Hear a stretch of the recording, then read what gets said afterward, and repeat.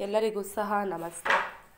ಎಲ್ರಿಗೂ ಸಹ ತಿಳಿದಿರೋ ರೀತಿ ಸ್ಪಂದನ ಅವರ ಮೃತದೇಹವನ್ನು ಬ್ಯಾಂಕಾಕ್ನಿಂದ ಬೆಂಗಳೂರಿಗೆ ಶಿಫ್ಟ್ ಮಾಡುವಂತಹ ಕಾರ್ಯಾಚರಣೆ ಏನಿದೆ, ಅದು ನಡೀತಾ ಇದೆ.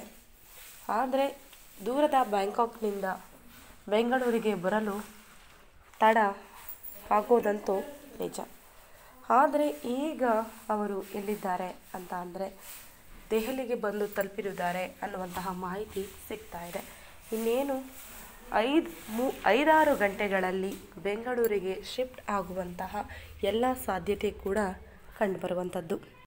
ವಿಜಯ್ ರಾಘವೇಂದ್ರ ಹಾಗೂ ಅವರ ಧರ್ಮಪತ್ನಿ ಶ್ರೀಮತಿ ಸ್ಪಂದನ ಅವರು ಇಬ್ಬರೂ ಸಹ ಬ್ಯಾಂಕಾಕ್ನ ಪ್ರವಾಸಕ್ಕೆಂದು ಮೂರು ದಿನಗಳ ಹಿಂದೆಯಷ್ಟೇ ಅವರು ಹೋಗಿರ್ತಾರೆ.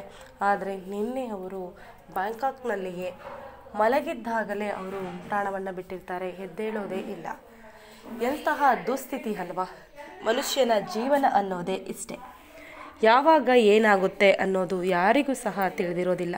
ಆದರೆ ವಿಜಯ್ ಹಾಗೂ ಸ್ಪಂದನ ಅವರ ಮನೆ ಮುಂದೆ ರಾಶಿ ರಾಶಿ ಜನರು ಅವರ ಬರುವಿಕೆಗಾಗಿ ವೆಯ್ಟ್ ಮಾಡ್ತಾ ಇದ್ದಾರೆ. ಇಡೀ ಕರ್ನಾಟಕದ ಜನತೆ ಬ್ಯಾಂಕಾಕ್ನಿಂದ ಬೆಂಗಳೂರಿಗೆ ಸ್ವಿಫ್ಟ್ ಬೇಗ ಆಗಲಿ ಅನ್ನುವಂತಹ ನಿರೀಕ್ಷೆಯಲ್ಲೂ ಸಹ ಇದ್ದಾರೆ.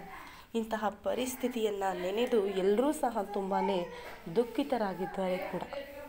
ವಿಜಯ್ ರಾಘವೇಂದ್ರ ಅವರ ಪರಿಸ್ಥಿತಿ ಏನಾಗಿರ್ಬೋದು? ಈ ಎಲ್ಲ ರೀತಿಯಾಗಿ ಯೋಚನೆ ಮಾಡಿ ನೋಡಿದಾಗ ಮನುಷ್ಯನ ಜೀವನವೇ ಒಂದು ವ್ಯರ್ಥ ಅನಿಸಿಬಿಡುತ್ತೆ.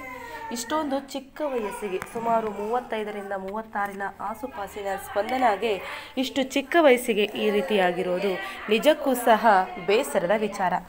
ನೀವು ಸಹ ಸ್ಪಂದನ ಅವರ ಆತ್ಮಕ್ಕೆ ಶಾಂತಿ ಕೋರಿ ಈ ಕೂಡಲೇ ಈ ವಿಡಿಯೋವನ್ನು ಲೈಕ್ ಮಾಡಿ, ಮುಂದಿನ ಅಪ್ಡೇಟ್ಗೆ ನಮ್ಮ ಚಾನಲನ್ನು ಸಬ್ಸ್ಕ್ರೈಬ್ ಮಾಡಿ.